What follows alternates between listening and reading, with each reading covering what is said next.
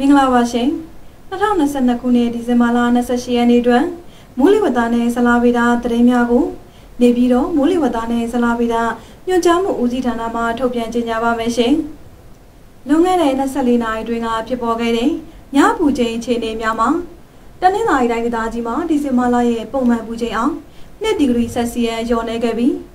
အေရရီတိုင်းဒေသကြီးပဲခူးတိုင်းဒေသကြီးမွန်ပြည်နယ်မန္တလေးတိုင်းဒေသကြီး ရှမ်းပြည်နယ်မြောက်ပိုင်းနဲ့တောင်ပိုင်းတို့မှာဒီဇင်ဘာလရဲ့ပုံမှန်ပူချိန်တို့ထက်2ဒီဂရီဆက်စီယပ်နဲ့ကချင်ပြည်နယ်စကိုင်းတိုင်းဒေသကြီးနေပြည်တော်နဲ့ကယားပြည်နယ်တို့မှာဒီဇင်ဘာလရဲ့ပုံမှန်ပူချိန်တို့ထက်3ဒီဂရီဆက်စီယပ်မှ4ဒီဂရီဆက်စီယပ်အထိပိုခဲ့ကချင်းပြည်နယ်ရခိုင်ပြည်နယ်မကွေးတိုင်းဒေသကြီးရှမ်းကုန်းတိုင်းဒေသကြီးကရင်ပြည်နယ်နဲ့ရှမ်းပြည်နယ်ရှေ့ပိုင်းတို့မှာဒီဇင်ဘာလရဲ့ပုံမှန်ပူချိန်ခန့်သာရှိခဲ့ပါတယ်။ မြို့လိုက်ထူကြတဲ့ညပူချိန်အခြေအနေများမှာနမ်ဆန်မြို့မှာ2ဒီဂရီဆက်စီယပ်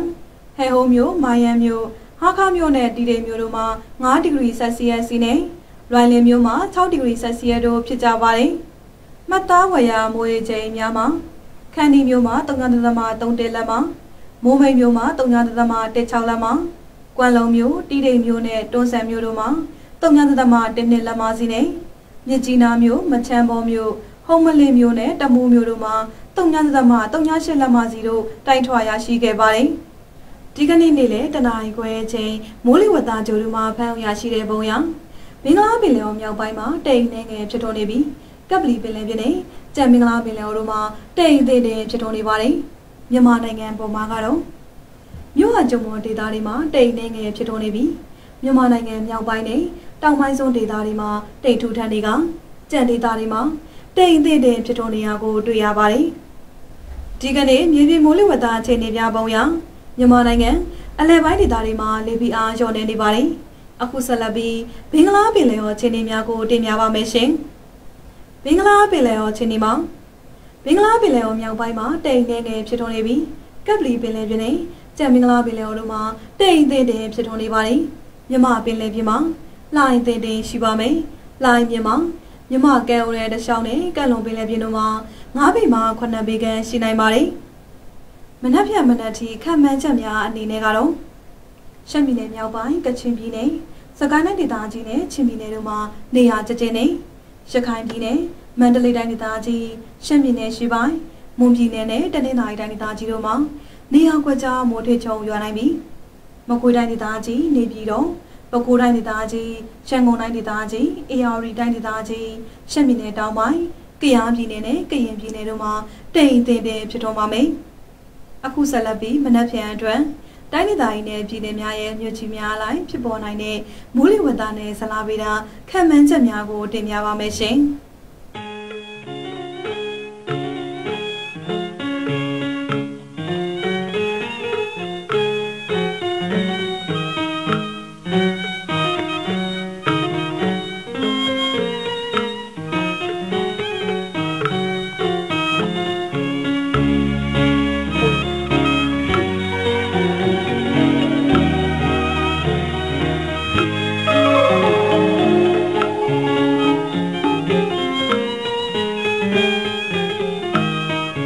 Música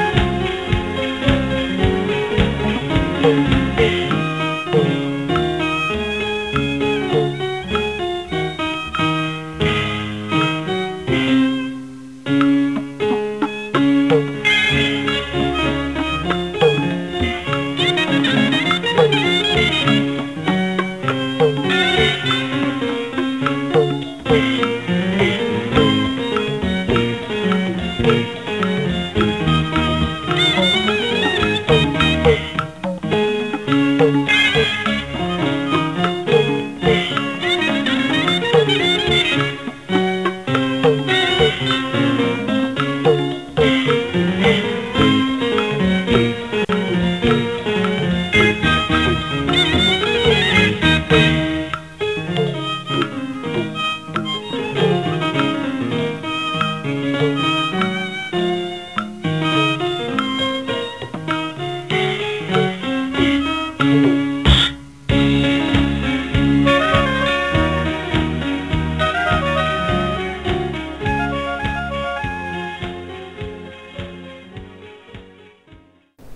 ပြည်တော်နဲ့နေတော်အတွင်းမြဖြမနက်တီမိုးလေဝသအခြေအနေခန့်မှန်းချက်မှာတိမ်တင်းတင်းဖြစ်တော့ပါမယ်။အနှိမ့်ဆုံးမူချိန်မှာ16ဒီဂရီဆက်စီယံ၊61ဒီဂရီဖာရင်ဟိုက်နဲ့ အမြင့်ဆုံးမူချိန်မှာ32ဒီဂရီဆက်စီယန်90ဒီဂရီဖာရင်ဟိုက်ရှိနိုင်ပါတယ်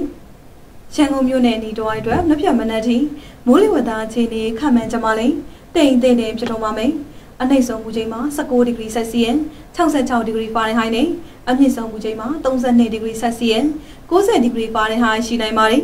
။မန္တလေးမြို့နယ်ဒီတော်အတွက်နှစ်ပြတ်မနက်ထိမိုးလေဝသအခြေအနေခန့်မှန်းကြမှာလဲတိမ်တင်တင်ဖြစ်တော့မှာမယ်။ အနှိမ့်ဆုံးမူချိန်မှာ18ဒီဂရီဆက်စီယန်63ဒီဂရီဖာရင်ဟိုက်နဲ့အမြင့်ဆုံးမူချိန်မှာ32ဒီဂရီဆက်စီယန်90ဒီဂရီဖာရင်ဟိုက်ရှိနိုင်ပါတယ်။နောက်နေ့ရက်အတွက်ခန့်မှန်းချက်အနေနဲ့ကတော့ကချင်ပြည်နယ်စကိုင်းနယ်ဒေသကြီးထပ်ပိုင်းရှမ်းပြည်နယ်မြောက်ပိုင်းချင်းပြည်နယ်ရခိုင်ပြည်နယ်မွန်ပြည်နယ်နဲ့တနင်္သာရီတိုင်းဒေသကြီးတို့မှာနေရာကွက်ကြားမိုးထွေးချုံရွာနိုင်ပါတယ်။မြင်းကလေးသတင်းအနေနဲ့ကတော့ဒီကနေ့မြန်မာစံတော်ချိန်10:48မိနစ် 3စက္ကန့်အချိန်မှာတမူးမြင်းကလေးစကန်မှာတောင်ရှိတောင်ဘက်62မိုင်ခန့်ကွာဝေးတဲ့မြန်မာနိုင်ငံပြည်တွင်ကလေးဝါမျိုးဤမြောက်ရှိမြောက်ဘက်9မိုင်ခန့်အကွာမြောက်လက်တီတို့23.33ဒီဂရီအရှေ့လောင်တီတို့94.34ဒီဂရီအနံ85ကီလိုမီတာကိုဗဟိုပြုပြီး AR radar scale 4.1အဆင့်ရှိအင်အားနဲ့ငယ်ရှိတဲ့မြင်ကလေးတစ်ခုလှုပ်ရှားသွားကြောင်းတိုင်ထွာရရှိပါတယ်။အခုတင်ပြခဲ့တာကတော့